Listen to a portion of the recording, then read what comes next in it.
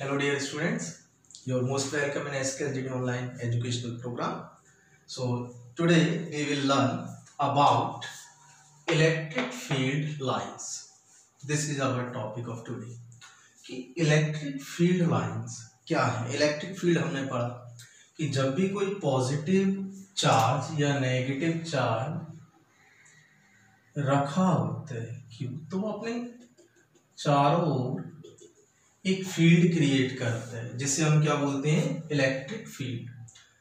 तो अब electric field हो गया तो अब इलेक्ट्रिक फ़ील्ड दिखता तो है, बट हमें कैसे फील होगा कि जब कोई अदर चार्ज पार्टिकल कोई भी दूसरा टेस्ट चार्ज पार्टिकल है, ये पॉजिटिव हो नेगेटिव हो, अगर वो पॉजिटिव है तो एक फोर्स फील करेगा और कैसा? रिपल्सन का फोर्स फील करेगा। अगर यही चार्ज पार्टिकल नेगेटिव है, तब ये अट्रैक्शन का फोर्स फील करेगा, है ना? तो बस यही अब हमें ये देखना है कि जब कोई चार्ज पार्टिकल नेगेटिव हो या पॉजिटिव वो किसी इलेक्ट्रिक फ़ील्ड में रखा है तो हम उसका पाथ ट्रेस करते हैं। क्या पाथ क्या ट्रेस करते हैं उसका? पाथ कि सपोज़ दैट ये एक बहुत बड़ा पॉजिटिव चार्ज है और ये कोई टेस्ट चार्ज है। अब इस पर एक फोर्स लगेगा रिपल्सन तो ये छोटा वाला चार्ज पार्टिकल क्या करेगा? इस इलेक्ट्रिक फ़ील्ड में मूव करेगा और आगे चलेगा। अब आगे ये जिस तरीके से चलेगा, किस तरीके से भी जाए तो इसका जो पाथ होगा, उस पाथ को ही हम क्या बोल देते हैं? इलेक्ट्रिक फ़ील्ड लाइंस ठीक है? और इस पाथ पर कोई टेंजेंट अगर हम ड्रॉ करें तो वो फिर किसको बताता है? इलेक्ट्रिक फोर्स की डायरेक्शन बताता है कि अगर इलेक्ट्रिक फ़ील्ड के अंदर कोई पॉजिटिव चार्ज पार्टिकल रखा है तो वो आगे की तरफ़ जाएगा, उससे दूर जाएगा इन्फिनिटी डिस्टेंस तक जाएगा। अगर कोई नेगेटिव चार्ज पार्टिकल इन्फिनिटी पे रखा है और पहले से एक नेगेटिव चार्ज पार्टिकल बहुत दूर है और एक पॉजिटिव एक इलेक्ट्रिक फ़ील्ड है तो वो वहाँ से अपने आप आएगा।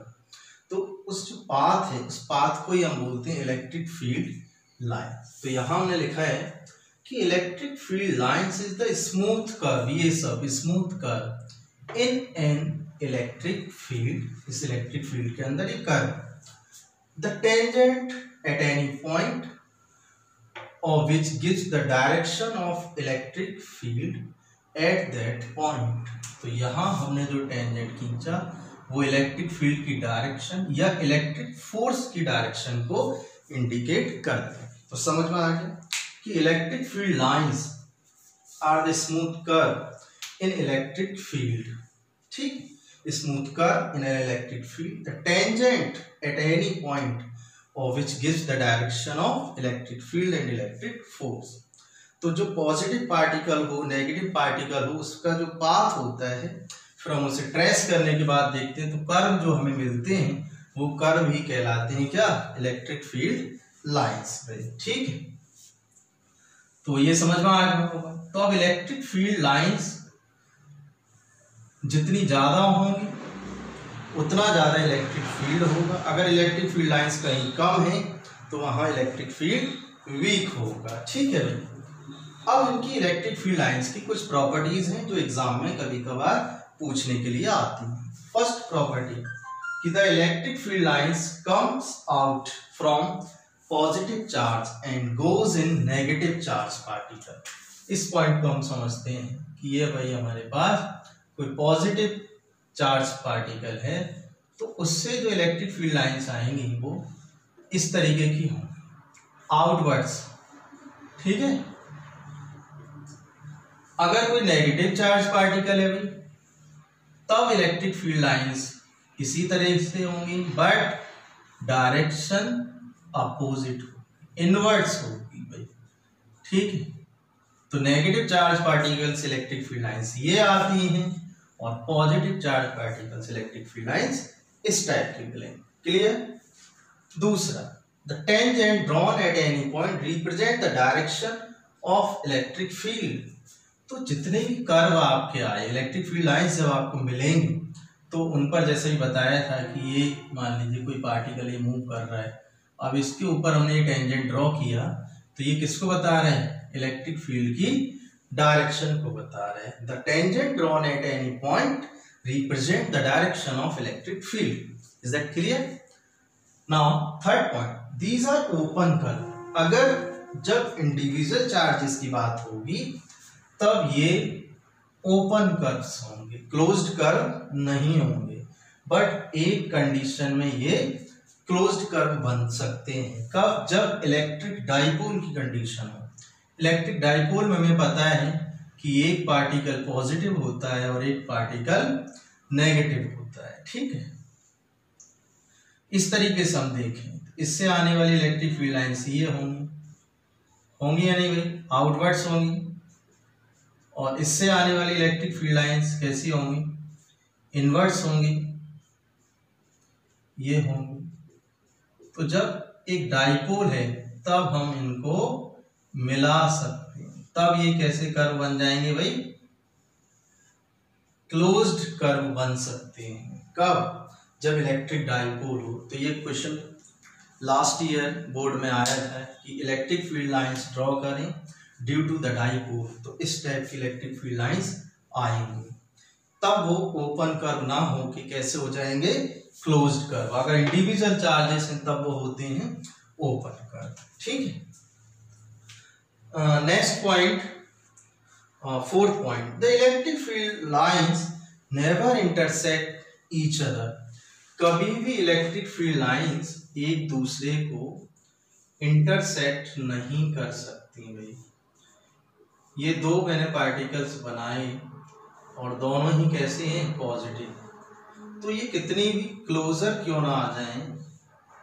बट कभी भी एक दूसरे को इंटर ये न्यूट्रल पॉइंट है। देखिए, ये भी यहाँ समझ सकते हो कि अगर टू सेम मैग्नीट्यूड के चार्ज पार्टिकल हैं, उनके नेचर सेम है, तब वो एक दूसरे को क्या करेंगे?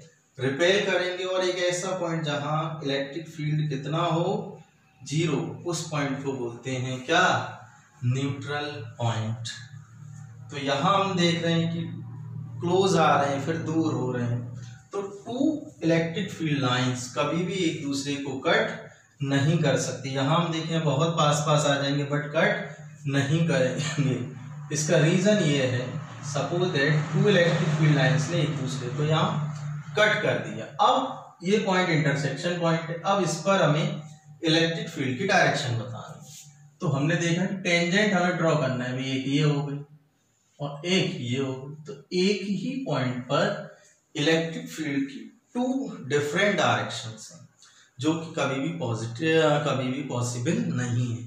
एक पॉइंट पर इलेक्ट्रिक फ़ील्ड की या इलेक्ट्रिक फोर्स की केवल और केवल एक ही डायरेक्शन होती है टू डायरेक्शंस नहीं होती। इसलिए two electric field lines never intersect each other अगर कभी बार ये एमसीक्यूज में भी आ सकता है या वेरी शॉर्ट में भी आ सकता है कि क्यों नहीं काटती तो हम लिख देंगे कि at intersection point the direction of electric field in two different direction which is not possible so electric field lines never intersect each other okay next point कि electric field lines are normal to the surface of conductor कि हमें कोई conductor दिया है, तब electric field lines किस तरीके से निकलेंगी?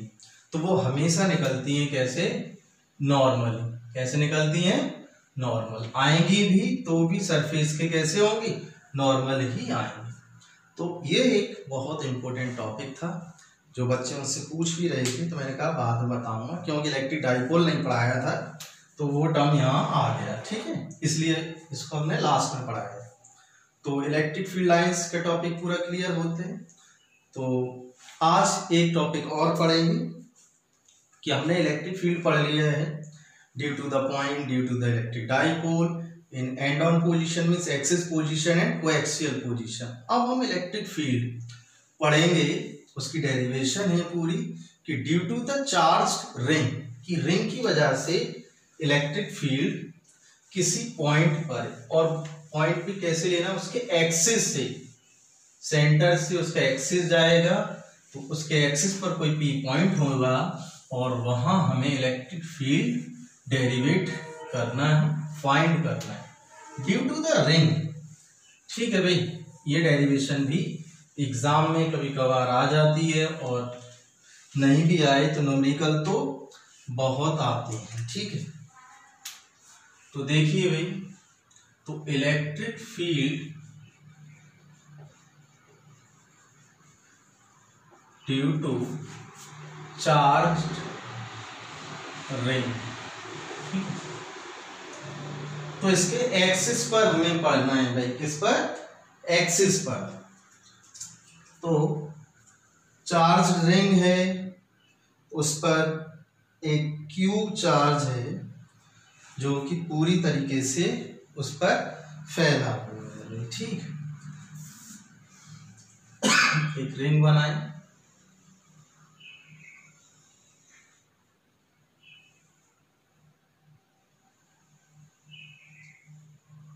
ठीक।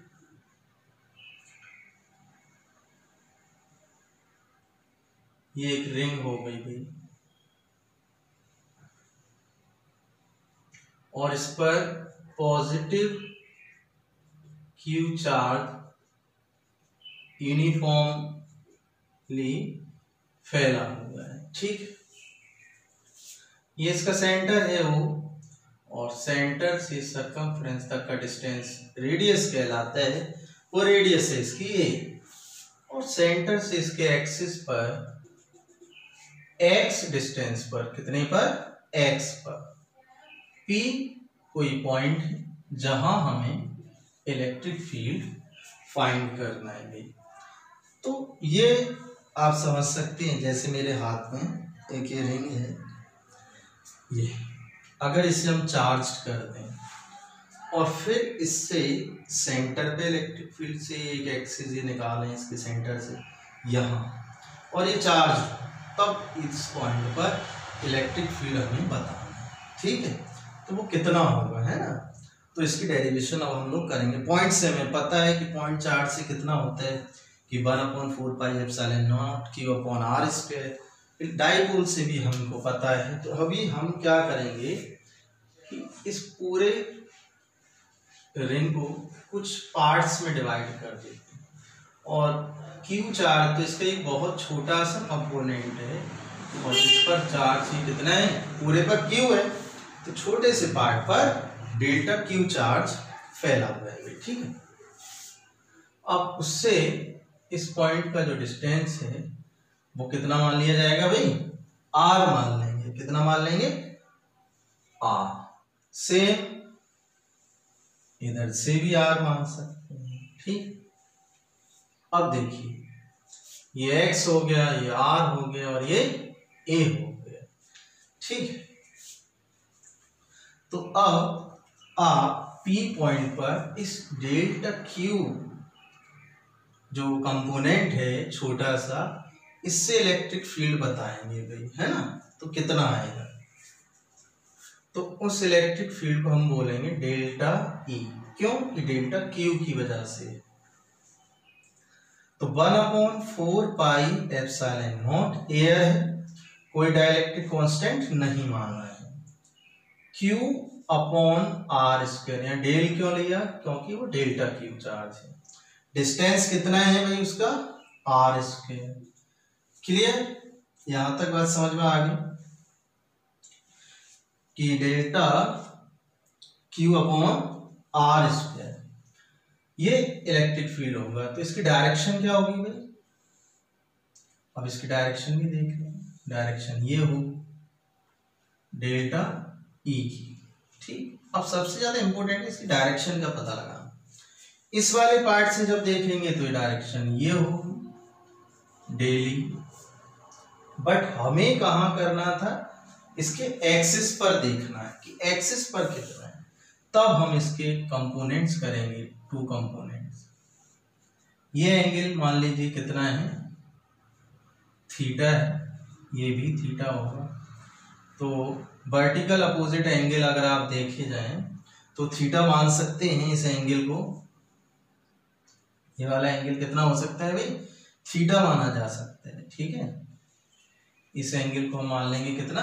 थीटा तो एक पार्ट इसका डी कॉस थीटा होगा और दूसरा डी ई साइन थीटा तो डी ई कॉस थीटा जिसके साथ एंगल होता है वो डेल ई कॉस थीटा और ये परपेंडिकुलर वाला component del E sine theta same इसका भी हम ऐसे देखें। तो ये थीटा तो इसके भी टू कंपोनेंट एक डेल ई साइन थीटा और दूसरा डेल ई कॉस थीटा तो इन टू कंपोनेंट्स की बात हो रही है। तो एक्सिस पर कौन कौन से कंपोनेंट ऐड हो रहे हैं? डेली कॉस थीटा जबकि डेली साइन थीटा दोनों के कैंसिल आउट हो जाएँगे। डिस्टेंस सेम है चार्ज सेम है तो वो तो कैंसिल आउट तो इसका तो कोई इफ़ेक्ट नहीं पड़ने वाला। तो जब हमें टोटल इलेक्ट्रिक फ़ील्ड निकालना है, कितना? Total electric field at point P और वो भी किस पर? एक्सिस पर। जब एक्सिस की बात होगी तो E इक्वल टू क्या आ जाएगा?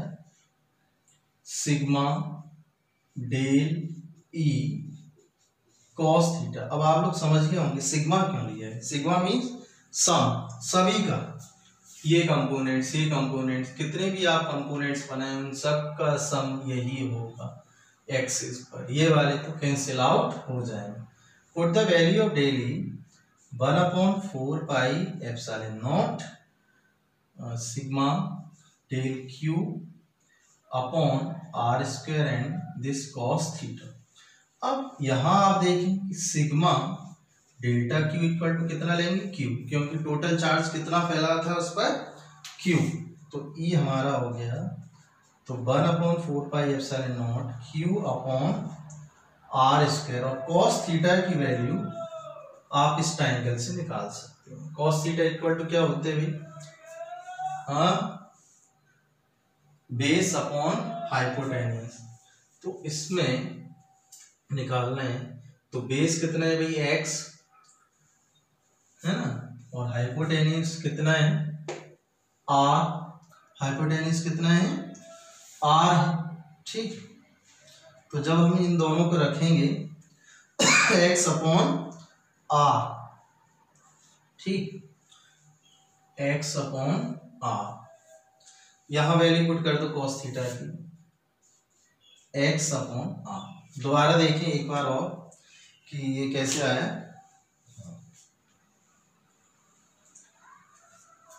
कि ये एक रिंग है चार्ज रिंग जिस पर क्यू चार्ज यूनिफॉर्मली फैला हुआ है ना? डिस्ट्रीब्यूट है। तो उसके एक्सिस उसके सेंटर पे वो पॉइंट है, उसकी रेडियस ए है और सेंटर से जाने वाली जो लाइन है सीधी, वो बनी उसकी एक्सिस अब एक्सिस पर we have to find electric field कितना हो? तो ये डिस्टेंस इसका एक्स ये डिस्टेंस इसका आर तो सबसे पहले ये देखा कि इसकी जो डायरेक्शन है, वो ये होगी इलेक्ट्रिक डेली सेम इसका भी यही होगा डेली तो जब यहाँ ये है, यहाँ ये अब हमें क्या निकालना है भाई? सेंटर डायरेक्शन सेंटर पे तो एक्सिस पे तो नहीं है। जब एक्सिस पे करना है तो इसके टू कंपोनेंट्स लिए। एक हॉरिजेंटल कंपोनेंट दूसरा वर्टिकल कंपोनेंट्स ठीक है भाई? तो हॉरिजेंटल कंपोनेंट और वर्टिकल कंपोनेंट्स क्या होंगे? तो हॉरिजेंटल और वर्टिकल कंपोनेंट एक कॉस होता है, दूसरा साइन तो ये एंगल दोनों अपोजिट एंगल हैं। जब टू लाइंस इस तरीके से हो तो ये थीटा है तो ये भी थीटा होगा। ठीक है, ये एंगल सेम है। सेम है इधर है। तो जिसके साथ थीटा होता है, वो कंपोनेंट हमारा क्या बनते हैं? कॉस थीटा और जस्ट उसके परपेंडिकुलर वाला साइन थीटा तो इसके del E cos theta del E sine theta same इसका भी, और इसका भी डेली कॉस थीटा और ये डेली साइन थीटा तो daily sine theta will cancel out because both are opposite and both are same but daily cos theta will be added because direction of both same. तो but अभी हमने केवल to components लिए but इस पूरे coil में या पूरे जो आपका रिंग है, उसमें बहुत सारे कंपोनेंट्स होंगे। तो सबकी वजह से हमने क्या यूज़ करा अभी? सिग्मा यूज़ करा। Sigma mean sum of all components ठीक? Put the value of daily and cos theta की वैल्यू आ गई तो इतना आपका ये कंप्लीट हो गया, ठीक? अब इसके बाद देखते हैं कि इसकी वैल्यू पुट कर दो। आर की वैल्यू क्या होगी, यही निकाल लो कि आर की वैल्यू क्या होगी भाई? हाइपोटेनियस है तो क्या हो सकता है? A square plus x square whole power one by two root आएगा या वन बाई टू लिखते हैं ठीक? तो यहाँ इसकी वैल्यू पुट कर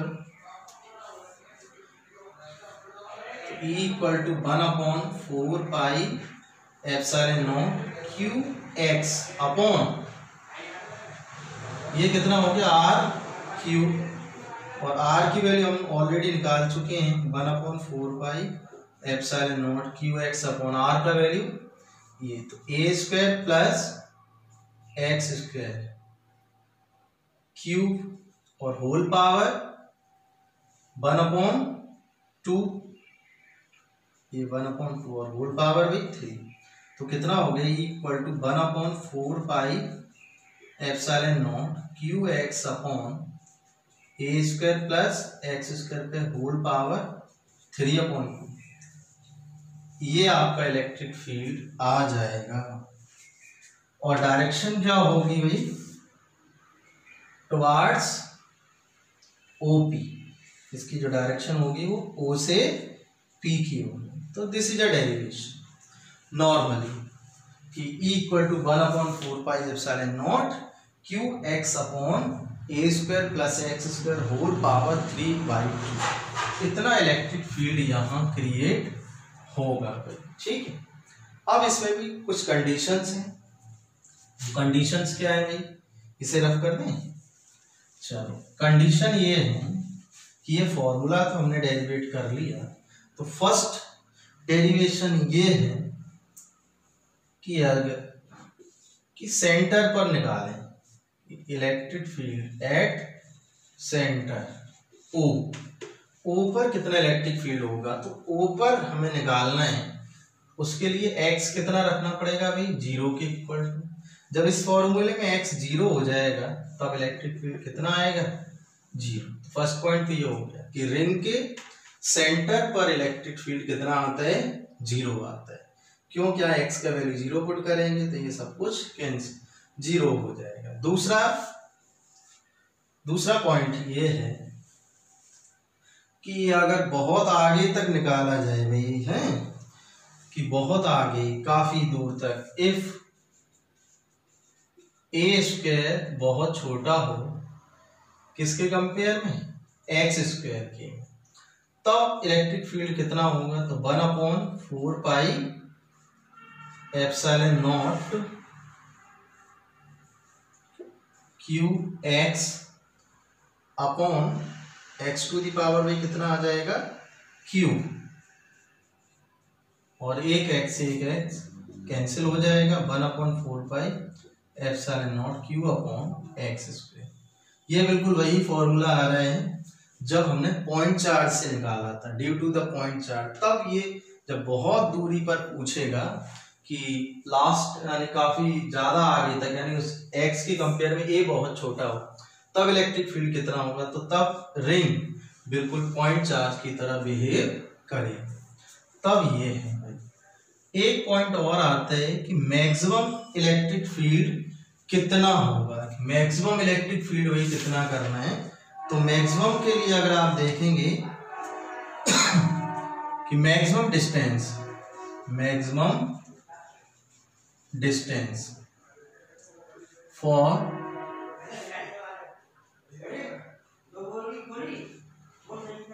E max यानी इलेक्ट्रिक फ़ील्ड मैक्सिमम कब होगा कि एक्स के किस डिस्टेंस पर इलेक्ट्रिक फ़ील्ड क्या हो? मैक्सिमम हो। मैक्सिमम इलेक्ट्रिक फ़ील्ड कब होगा। तब उसके लिए एक्स की वैल्यू आएगी ए अपॉन रूट टू। कितना आएगा भाई? A upon root two. तो ये बहुत इंपॉर्टेंट है, ये आप लोग याद रखें कि दोनों साइड कोई रिंग है ई e मैक्सिमम के लिए एक्स की वैल्यू कितनी होनी चाहिए? A upon root two metre. दोनों तरफ़ इधर भी जा सकता है वो ए अपॉन रूट टू और दोनों साइड हो सकता है, ठीक? तो ये बहुत इम्पोर्टेंट नोटेबल पॉइंट है। जितनी भी चीज़ मैं ये बताता हूँ कि इम्पोर्टेंट है नोटेबल है तो प्लीज़ उसे अपनी नोटबुक में कहीं पर भी इम्पोर्टेंट डालकर या स्टार डालकर लिख लिया करें। क्यों? अब जो पेपर का पैटर्न है, वो बिल्कुल बदल चुका है। बहुत छोटी छोटी चीज़ें आती हैं। आपने भले पूरी थ्योरी पढ़ी है तब भी आप पूरा पेपर सॉल्व नहीं कर पाएँगे। क्यों? कि बहुत छोटे छोटे टर्म्स ऐसे होती हैं जिन्हें हम पढ़ते टाइम नेगलेक्ट कर देती हैं और वही एग्ज़ाम में आ जाती हैं। तो मैं साथ ही साथ जब थ्योरी कराता हूँ डेरिवेशन कराता हूँ तो कुछ इम्पोर्टेंट फैक्ट्स भी बताता हूँ। तो ये सब इम्पोर्टेंट फैक्ट्स हैं, आप इन्हें ज़रूर ज़रूर ज़रूर नोट करें और उन्हें देखें। क्लियर तो अभी हमारा ये चैप्टर ऑलमोस्ट कंप्लीट हो चुका है। केवल एक डेरिवेशन रह गई है। टॉर्क की तो वो मैं नेक्स्ट वीडियो में आपको कराऊँगा और कुछ नोमेरिकल्स भी। उसके बाद हमारा ये चैप्टर कंप्लीट होगा और फिर हमारा न्यू चैप्टर स्टार्ट होगा। गॉस की थ्योरम उससे पहले हमें इस चैप्टर के सारे नोमेरिकल सॉल्व करने होंगे। आई होप कि you will solve this numerical और learn physics with me with fully enjoy thank you for watching bye bye